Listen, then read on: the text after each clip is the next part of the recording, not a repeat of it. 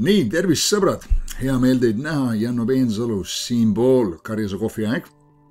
ja selle podcasti eesmärk on õpetada Jumala sõna printsiipe praktilistel viisidel. ma usun, et Jumala sõna peab olema tõlgendatav meie praktilisse kristlikku elusse. muidu pole vaimulikest mõtetest ja loogiast kasu, kui me ei saa selle järgi elada. ma just tulin koolist, eh, sisse jälle läbi, neli sellist korralikku koolipäeva, väga kasulikud õppetunnid. ma olin väga happy, et ma seal olin. ma arvan, see on hea tunnus, kui sa oled koolis ja sa oled rahul, et sa oled seal. ja sa oled, sa oled õnnelik selle üle. ja siis ma usun, et see on õige koht ja õige, õige asi õigel ajal. nii et ma õppisin seal seekord ka avalikust kõnelemisest, mida ma olen natukene praktiseerinud, aga, aga alati on midagi juurde õppida ja meil oli haruldaselt hea õppejõud. siis me õppisime jüngriks tegemisest ja jüngriks olemisest mitu päeva välisõppejõuga ja, ja, ja siis veel seksuaaleetika ja bioeetika ja nii edasi ja nii edasi. põnevad, põnevad asjad, asjad, millesse ma ei ole väga palju pilku heitnud muidu. ja see on see, mis kool teeb, ta paneb sind laiendama oma, oma mõttemudeleid ja, ja, ja silmavaadet ja maailmavaadet terviklikult. ja see on väga-väga kasulik. piibel muuseas ütleb, et me ei mõista Jumalat lihtsalt monopolina üksinda. jah, sa oled teda tundma õppinud, aga see täielik Jumala tundmine tuleb, nagu Paulus ütleb eh, Efeslaste kirjas, ühes kõigi pühadega. me mõistaksime mäherdune, on armastuse pikkus, laius, kõrgus, sügavus ja ära tunneksime Kristuse armastuse nii et me vajame kuulata ära paljude teiste inimeste lugusid selleks, et mõista seda täit pilti, kui suur, vägev Jumal on, kuidas ta toimetab, kuidas ta käitub, milline, millised on tema atribuudid ja nii edasi ja nii edasi. nii et see oli, see oli vahva aeg. ma tahan erilise suure tänu öelda ühele kalle vennale Antsule, kes õnnistas mind ja täna hommikul ma avastasin midagi oma kontolt, et armas vend Ants oli saatnud heldekäelise ja armsa ohvrianni. Ants, suur tänu sulle. see on eriline õnnistus. ja ma tänan kõiki, kes muidugi jätkuvalt silma peal hoiavad mu podcast idel, mu eesmärk ei ole koguda tuntust või ehitada kuulsust või omale head reputatsiooni. mul juba on see, mis on ja seegi, mis on, on nagu ta on. Aga ma olen kirglik Jumala sõna suhtes, ma olen teeninud issandat kolmkümmend kolm aastat ja, ja õpetanud tema sõna, ta kutsus mind oma teenistusse, kui ma olin eh, esimest korda kirikus, kuulsin oma nii-öelda esimest jutlust ja sellel ajal Jumala vaim kõnetas mind, ütles, sa teed ühel päeval seda, mida see noormees seal ees teeb. ja ta jutlustas Jumala sõna. ja ma olen seda teinud kõik need aastad. ma ei ole seda teinud sellepärast, et, äh, et saada mingeid hüvanguid seal ei ole olnud rohkem materiaalseid hüvanguid või mingeid muid hüvanguid. ma olen seda teinud sellepärast, et ma olen tahtnud järgida issanda kutset, kogu lugu oma parimal viisil ma olen seda teinud. ma tänan kõiki, kes vaatavad, elavad kaasa, kommenteerivad, jagavad neid videosid, tutvustavad oma sõpradele. ja, ja ka kõigi heade positiivsete kommentaaride eest. Neid on igasuguseid seinast seina, aga, aga mõni ka märkab üht või teist ja annab mulle tagasisidet, ma ei pane seda pahaks. et äh, nii, et suur tänu, suur tänu, suur tänu ja kui see on õnnistunud sind, julgustanud sind, siis jaga seda kellegi teisega, ma arvan, see on hea mõte. mul oli üks kirjakoht, mis ma tahtsin jagada. ma ei tea, kus ma oma piibli panin, aga võib-olla ma leian selle oma iPadist nii kaua üles, kui me jutustame siin. ja muuseas, koolist veel rääkides, eh, üks küsimus, mis mulle väga meeldis, mida, mida meie õppejõud küsis. ta küsis, et eh, mis põhjustab kasvu sinu vaimulikus elus millised asjad sa oled identifitseerinud, need põhjustavad niisugust märgatavat edasiminekut. ja ma mõtlen, see on nii oluline, et me küsime enda käest küsimusi või et keegi küsib meie käest küsimusi. esmaspäeva õhtul ma veetsin ühe hea sõbraga koos ja, ja, ja küsisin tema käest õhtu läbi küsimusi, järgmine päev ta kirjutas mulle, ütles, et oh, tead, keegi pole minu käest küsinud niimoodi küsimusi, nagu sina küsisid. mulle väga meeldis see, sest tal meeldis rääkida oma olukorrast ja jagada asju, ta oli läbi läinud, kõndinud raskest ajast hiljuti ja. aga ja, erinevad küsimused, nii, see kirjakoht, mis ma tahan lugeda, on õpetussõnade raamatust ja ma vaatan, kas ma leian selle siit kiirelt üles. okei okay,, ma ei hakka tegelikult otsima, ma tsiteerin seda. tass vett või lonks vett. see kirjakoht kõlab, et kui valitseja, see kirjakoht kõlab, kui valitseja paneb tähele valekõnesid, siis kõik ta teenrid on õelad. ja ma tahan mõne mõtte jagada täna hommikul väga tuttavast teemast ja see on meie suhtumine. nüüd ma tõin esile viis asja, mis meie elu kõige enam mõjutama, mõjutavad. sinu mõtlemine, mis määrab sinu elu suuna, meie elu liigub meie kõige enam domineerivamate mõtete suunas.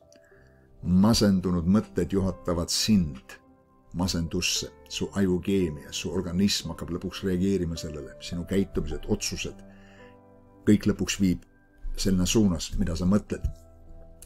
vahet pole, see võib olla muudes valdkondades kibedus, see võib olla rõõm, see võib olla optimism, see võib olla usk, eh, mida iganes me mõtleme. Joosep alati tõusis oma mõtlemise tasemele. Ta alati oli liider, kus iganes ta ka ei sattunud oma elus. teine väga tähtis asi, mis mõjutab meie elu, on meie suhtumine ja suhtumine määrab ära meie elutaseme.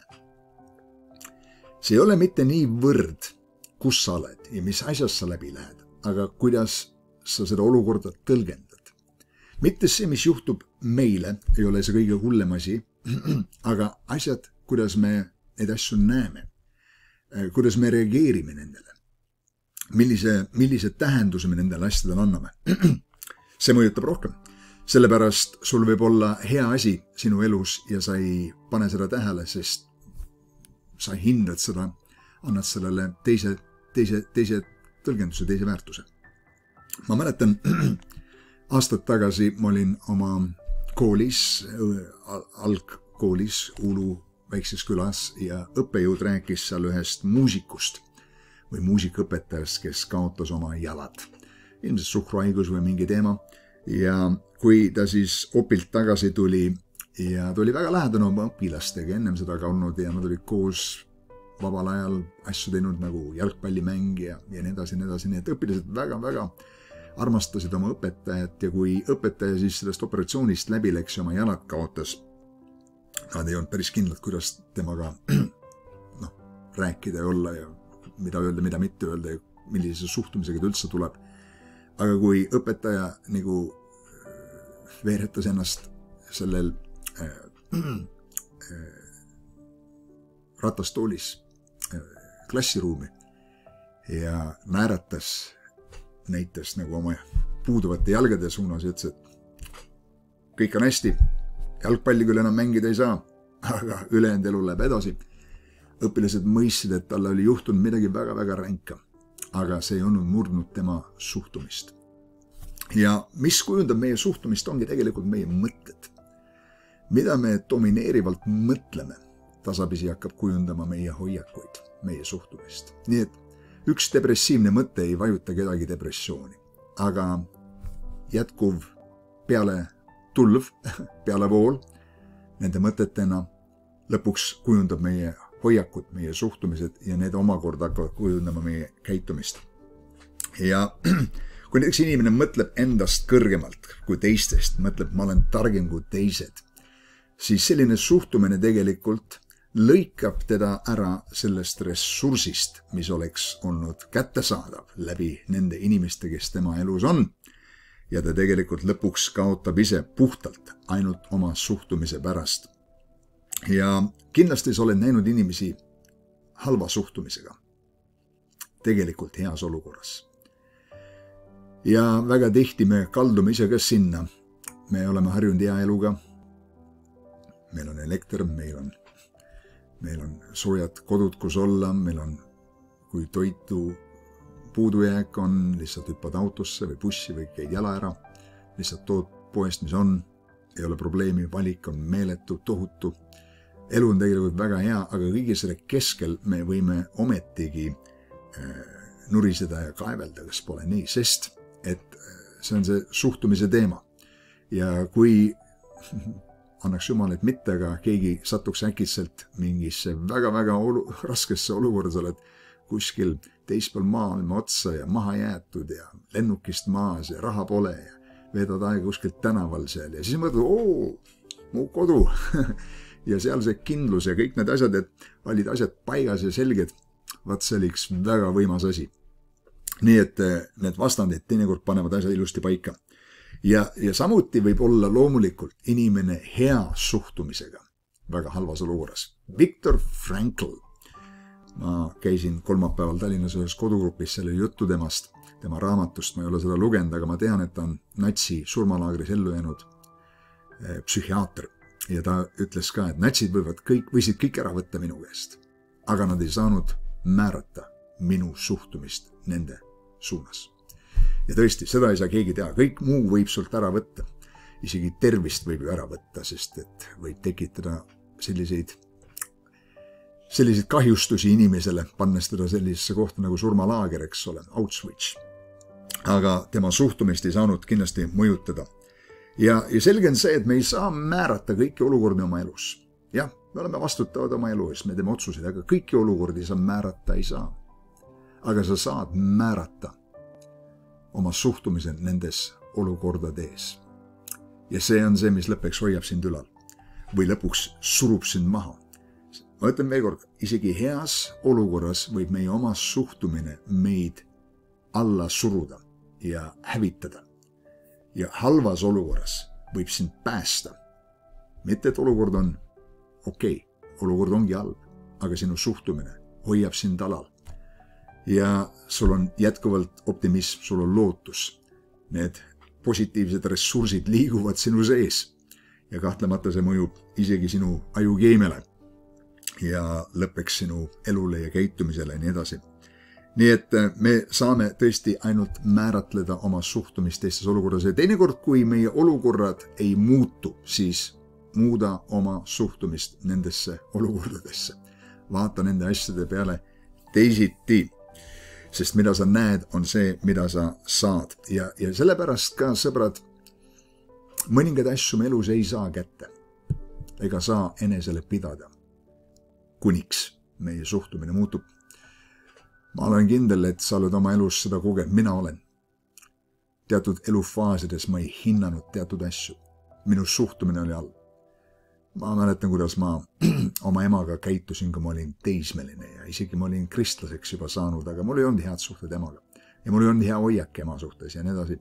ja kuidas Jumal läbi aegade muutis seda. ema ei muutunud, minu suhtumine muutus ja see suhtumine omakorda mõjutas meie suhet. ja lõpuks meist said väga-väga lähedased, ma arvan, nii lähedased, nagu üks ema ja poeg olema peaksid. ja kui ema lahkus igavikku, siis me olime ülimalt lähedased, seda raskem ka kaotus, aga ometi see rahutunne südames, et ma olin kõik emaga rääkinud, kõik äh, teinud, mis vaja ja ema võis minna rahus igavikku. nii et mõningaid asju me ei näe ega saa ennem kätte, kuni me muutume. Iisraeli rahvas, nad olid välja toodud orjusest. Nad olid küll praegu kõrbe, kõrbeteekonnal, see oli sihuke üleminekuaeg aga nad olid tegelikult lõppeks liikumas tõotatud maa poole. see oli täielik Jumala ime ja Jumal tegi imesid seal kõrbes, ometigi. tegelikult kogu see kamp, kes sealt Egiptusest välja tuli ja mõned piibliuurijad arvavad, et võis tegemist olla vähemalt kahe miljoni inimesega. ainult kaks nendest pääsesid tõotatud maale. ja me teame seda nurinat, Kristuse kiusamist, seda, neid hoiakuid, mis neis olid. parem oleksime surnud Egiptuses või, või söönud neid ja neid asju Egiptuses, kui tuleme siia vaevlema, siia kõrbesse või siia surema. ühesõnaga, suhtumine oli halb ja see oli põhjus, miks nad ei saanud oma elu saatust kätte. nii et hea näide sellest on raamatu lugemine. Ma ei tea, kui sa oled lugenud teatud raamatuid või võta kasvõi piibel, sa oled lugenud mingeid kirjakohti selles ja naased mingi aja pärast tagasi sellesama kirjakoha juurde ja näed selles samas kirjakohas uusi asju, mida sa vanasti ei näinud. sa ei olnud hooletu oma lugemises eelnevalt. põhjus, miks sa ei näinud, oli sellepärast, et sa ei olnud, sa oled vahepeal muutunud. vahepeal on läinud aega mööda, sa oled muutunud, sinu hoiakud on muutunud ja seetõttu sa näed teisi asju ja elus samamoodi. meie muutumine põhjustab meid elus teisi asju nägema, mida me ennem ei näinud ja hindama neid asju. nii et seetõttu oleme me võimelised kinni haarama teatud õnnistustest ja tõotustest tänu sellele muutumisele meie sees ja meie hoiakute muutumisele. nõnda siis, kui tähtis on suhtumise, õige suhtumine meie sees, see määrab sinu elutaseme see on absoluutselt tähtis